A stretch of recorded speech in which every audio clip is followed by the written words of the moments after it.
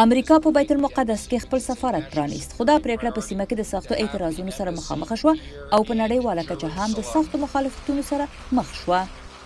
په بیت المقدس کې د امریکا سفارت د پرانیستې په خاطر په سرحدي ساحه کې د اسرایل او فلسطین مظاهره کوونکو ترمنځ د نښتو لامل شاوخوا ودیش مظاهره کوونکي وژل شوي او ګڼ شمېر نور ټپيان شول په اندونیزیا کې پولیس وایي چې د یکشنبې په ورځ د اندونیزیا په سورابایا ښار کې پر دریو کلیساګانو بریدونه شاوخوا دیارلس تنه وژلي او څلوېښت تنه نورې ټپیان کړل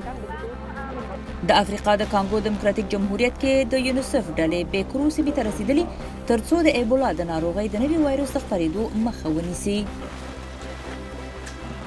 او په نیکاراګوا کې پس له دې چې ملګرو ملتونو د 500 کسانو د وژنې خبر ورکړ په زرهاو خلک د اعتراض په ډول سرکونو ته وتل او د جمهور رئیس دانیال اورتریګو پر خلاف مظاهرې وکړې